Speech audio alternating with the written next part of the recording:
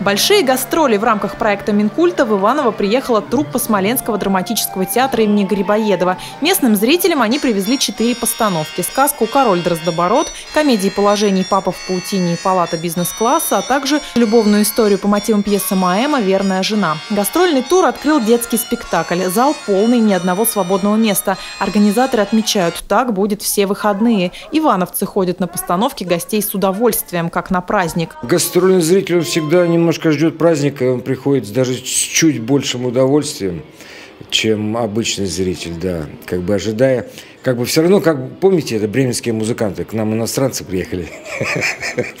Поэтому гастролеров воспринимают всегда немножко как иностранцев. То есть, давай пойдем посмотрим. Смоленцы приезжают в наш город уже второй раз. Сценой не очень довольны, слишком проста для их постановок. Нет кольца, круга, штанкетов недостаточно. Поэтому привезли спектакли попроще, которые вытягивают игрой актеров, а не спецэффектами. Мы, в принципе, ничего не можем развернуть даже на сцене. Вот сказка Садко у нас есть. У нас выплывает нос корабля целый с веслами.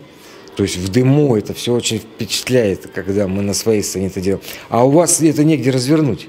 Ну, просто ее поставить некуда. Пока ивановских зрителей покоряют гости из Смоленска, большая часть труппы драматического с ответным визитом у них в гостях. Говорят, принимают на ура. Мы туда повезли четыре взрослых спектакля, один детский спектакль.